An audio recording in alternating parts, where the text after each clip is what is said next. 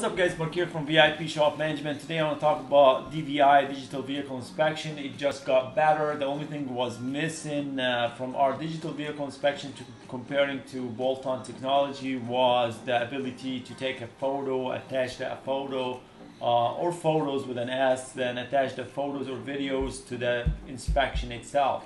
Uh, now VIP can do that. Um, before we do that, I just want to show you our uh, self-checking app that our VIP customer are taking advantage versus anyone else. Remember, you can put this one on a tablet, or um, or you can make have a station on your uh, inside your uh, waiting room, uh, whatever you want. So let's check it out. Let's assume we have a customer here, and he's an existing customer. He's just checking in, and he's here for an oil change, and he's gonna select his vehicle, and he's just gonna type in oil change, continue. This is your term. is gonna be right here I accept, and that's it. The customer is done. So let's go back to your end right here, service writer end. So we can see it is in the blue. So anytime you see one in the blue, that means uh, the customer uh, signed himself in. We're gonna click on that. And if you look right here, it says the customer request right here, he needs an oil change. But before, let's, we're gonna click on basic oil change, fill it automatically. But before we do that, we got to do the vehicle inspection. We're going to go to DVI. So we can see the last time uh, the vehicle inspection was nothing wrong with it. But this time everything checked out except the pads and rotors are grinding. So we're going to go to the rear. We're going to auto-populate what's wrong with the, with the failed items.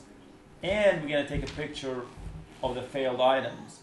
I'm going to use my phone Remember, all you need is just any phone as long as you have Google Photos on it. Going to click on the camera, just open the camera, not a special app, just the camera. And, um, I'm to take a picture of a, of a rotor from the internet. And that's it. I'm just taking a picture of a rotor from the internet. And usually it takes like 10 to 15 seconds. So by the time you walk back um, to the computer, um, you, that picture should be ready for you. We're going to click on add photo. You see the add photo right here? It's going to take it to Google Photos and this is the picture I just took. I'm going to assign it. When I assign this, via, uh, this photo to the vehicle inspection is different than when I assign a photo uh, from here to the invoice itself. Remember that. So if I assign a photo right here to, let's say I assign this video, this video will always be assigned to this invoice only. But if I go to the vehicle inspection and I see that assigned picture, this picture will only be assigned to the vehicle itself. What's that mean? Let me just try to simplify this. Assume that the guy cashed out and pay cash, cash. And let's go back to the same customer and I'm going to select the same vehicle. If I go to add the photos for the estimate, there's no photos selected.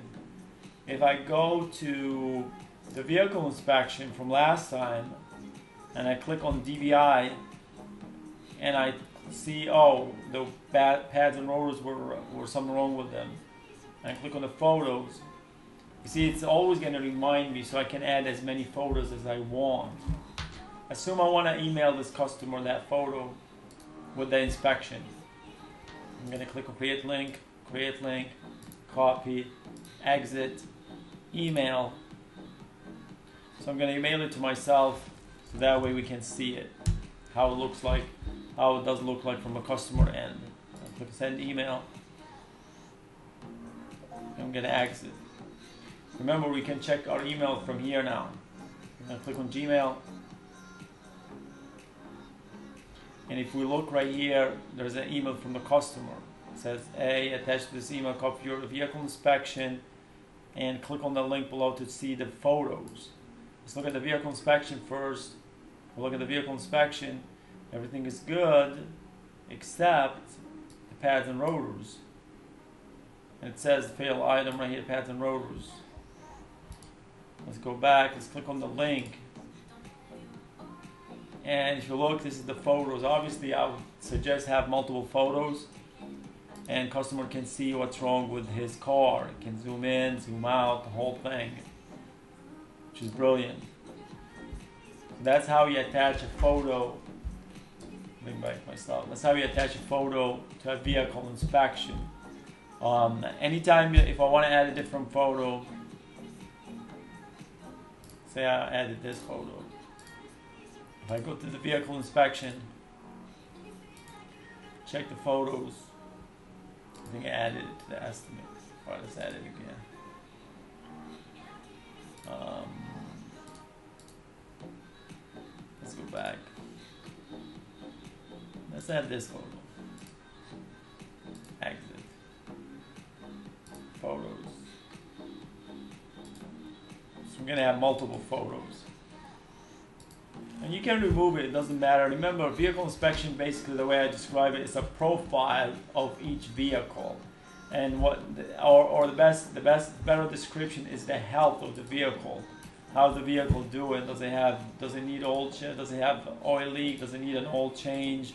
Um, does it need tie rods and all that? Underbody, underhood, which is the most common one. If your body shop, probably gonna do some of the windshields broken. Uh, lights, body, there's a dent or something, auto populate, which is pretty cool. So, and now we have the photos. basically, right now, whatever uh, bolt-on technology has, we have.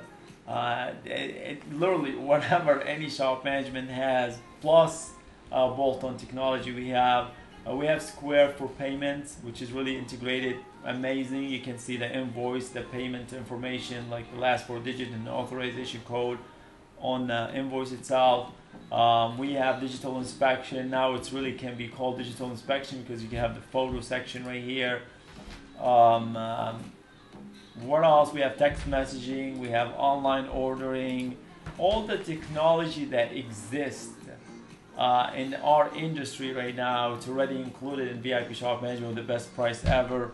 Um, uh, it's amazing. It's really cool. It's really really cool. So anyway, I guess that's it for today. I appreciate you guys watching. Until next time, thanks for watching.